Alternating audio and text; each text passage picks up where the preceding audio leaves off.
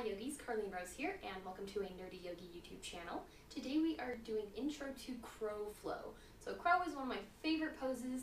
It is very challenging and it can be kind of a mystery pose if you haven't really practiced it a lot. So this is going to get us into the foundations of crow and then from there you can build into all kinds of crazy variations but the important thing is of course starting with the foundation and then building up from that. So we'll start with an ankle to knee or double pigeon warm up. Uh, one of my favorite ways to warm up because we can start opening up our hips without really having to worry about stretching too much. So come to a comfortable seated position. Ankles and knees are stacked uh, on top of each other. No need again to worry about pressing the knee down. Just let it fall where it may. Uh, top foot is flexed, bottom foot can be flexed or um, kind of rotated towards the earth, whatever is more comfortable for you. And we'll start by activating our Mula Bandha breath. So that's going to start getting into our deep core muscles, all of our spinal muscles, um, and building that strength from the inside out. So inhaling here, feeling the base of your belly in a 360 direction, and as you exhale, squeeze all of the air in and up, exhaling all along your spine. Inhale here, exhale, inhale, filling your low belly in a 360 direction, exhaling all of the air in and out, exhaling through your nose. We'll start adding some movement to that with our breath of freedom. So inhale, you're gonna mini arch or back bend here as you open your arms wide and as you exhale, a little bit of a round, mostly in your shoulders and give yourself a big hug. I've got right leg and right arm on top as I'm doing this. Exhale. Inhale last time. And exhale, give yourself some love and a nice big hug. And come back to center and you will switch sides. So now left leg is on top. Again, finding that comfortable seated position. Uh, left leg, the bottom leg again can be flexed or rotated towards the earth. Sitting up tall through the crown of your head. Then inhaling, getting that Mula Bandha breath going again. Exhale. Inhale here. Gently warming up our legs, and then we'll get in our arms. So adding that movement with the breath of freedom. So inhale, inhaling a mini back bend, starting to open up your chest and shoulders. Exhale, give yourself a big hug. Inhale here starting to tap into all of the muscles that we're going to use for our crow. Last one. Exhale. Very nice. Now from here, we'll make our way onto our hands and knees. So coming to our hands and knees position, you want strong foundation, so really strong fingertips, um, and then strong ring of the palm. You don't want too much weight on the heel, really any weight on the heel of your palm, and you're going to kind of suction up almost. So think of like a little gecko or like Spider-Man, you know, on your fingertips. That's where your strength is. You kind of suction up. It's not that dramatic, but you start there and then come to your palms and really have a strong foundation on the earth. So tuck your toes under. We're going to do some cat-cow. So inhale. And as you exhale, just press off of the ground just a little bit, lifting up your knees, really lifting up from your core and pressing into the earth with that strong hand foundation. Inhale here, exhale, inhale, exhale, really lift and holding it this time, pressing all the way back to your down dog. Start to pedal out your feet, warming up the backs of your legs now. And from here, you're gonna bend your knees and elbows. We'll do a vinyasa wave, so waving your spine forward into your plank, coming onto your knees, lowering to the earth. Inhale here, prepare long spine. Really lifting in and up, coming into a cobra. You can come into a low cobra, you can come into a higher cobra, wherever you're feeling today. And then exhale, you can either come through your knees or lifting up through pointed plank back to down dog. Very nice. And from here, slight bend in the knees and elbows again. Create space and momentum to lift your right leg. And as you exhale, you're going to bring your right knee to the upper right arm. Hold it there for a moment. Inhale, lift up. Exhale, twist it now to the left, just going towards the left arm. Inhale, lift up. And exhale, really lifting it in and up, pressing against the right arm again. Think about pressing your right arm against the knee see you can hold it there for a couple of breaths. And then step the right foot to the outside of the right hand. Trying to open up our inner leg a little bit so you can even roll onto the pinky toe edge of your foot. Get a bit more opening in your hip. Inhale here, keeping your spine long. Now from here, you're to twist the right arm up. Just getting a little bit deeper stretch into that leg. Exhale, hand comes back to the earth. Now here's a real fun challenge for you. Slight bend in your knee and elbow.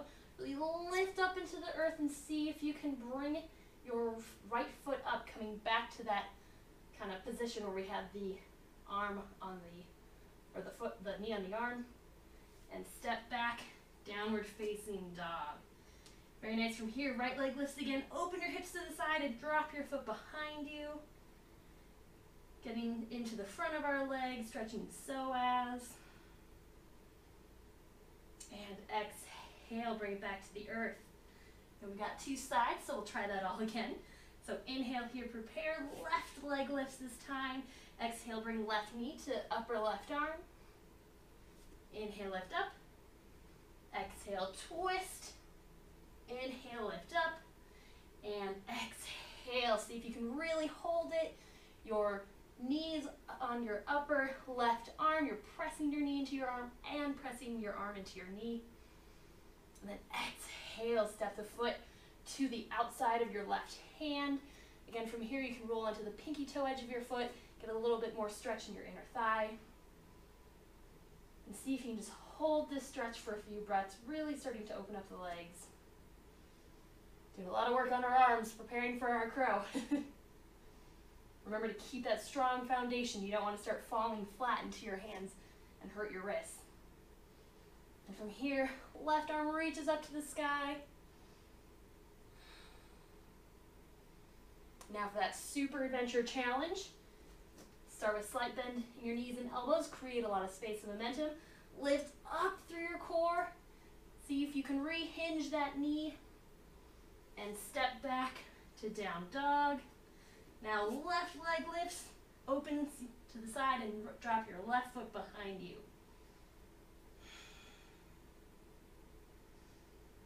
Very nice. Come back to center. From here, bending your knees and elbows. Wave yourself forward to plank. Come onto your knees, lower through chaturanga. Inhale here, prepare. Roll yourself in and up. And exhale. Back to down dog. You're nice. Now from here, step your feet towards your hands. We're gonna get off our wrists for a moment. Step your feet really wide. We're gonna come into Malasana, so a yoga squat. So from here, now if you can't sit all the way down, that's totally fine. Maybe you have to hang out here. Maybe you need to get a block. Whatever you have to do to come into this kind of yoga squat position, you do want to make sure that your knees and toes are in line facing out so that you're not twerking your knees or anything. And you do want to sit up with a tall spine. So this is really going to help us open up for our crow and gives us an opportunity to do a little magic wrist clear after all of that hard work on our hands. So just think about massaging your forearm a little, getting a bit of traction, pulling your wrist away from your arm.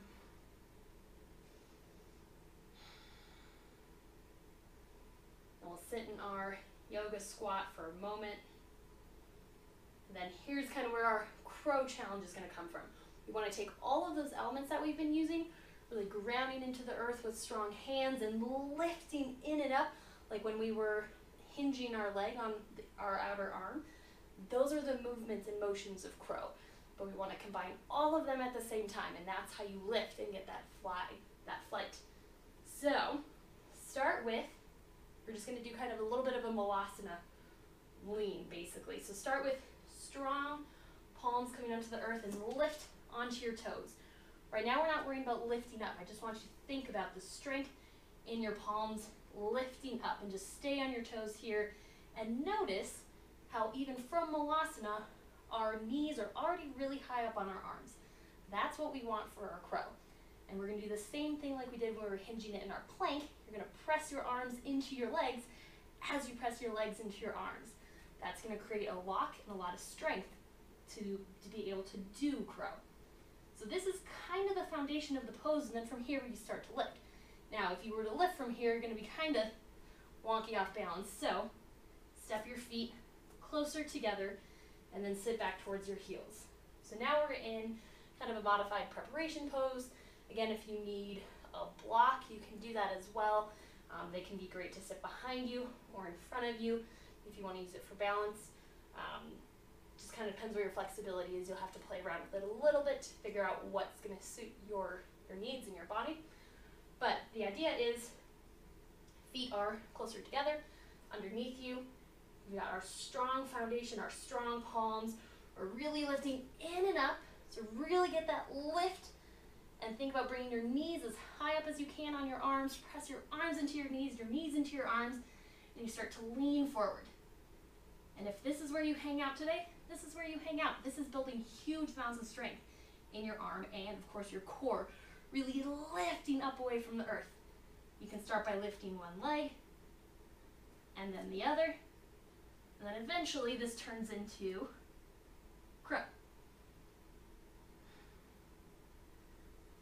And just practice that, practice balancing it, and then you can come back into your malasana, stretch, do your magic wrist clear again, and keep doing that motion, keep doing that practice, keep working on grounding into the earth.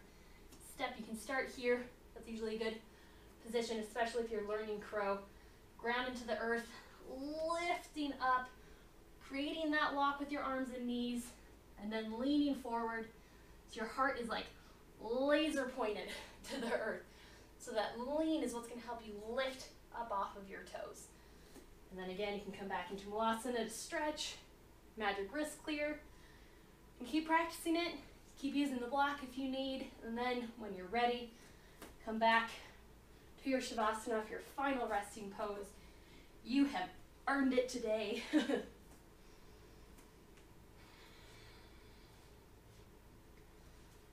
just take up as much space on your mat as you would like today. Really sink into the earth and just feel all of that strength and power you just cultivated from that flow. So, like I said, crow pose is can be kind of an elusive pose, but it is tons of fun once you once you get it, once you start getting into the practice of it. It's very challenging, builds tons of core strength, builds tons of balance, and it looks cool. So hopefully you found that that flow and tutorial helpful. Again, keep practicing it. I do look forward to seeing you on the mat again, so make sure you are subscribed to the YouTube channel. You'll get notifications when the new videos go up. I also have exclusive content for you on the League of Nerd Yogis email list. Link is in the description below. Namaste.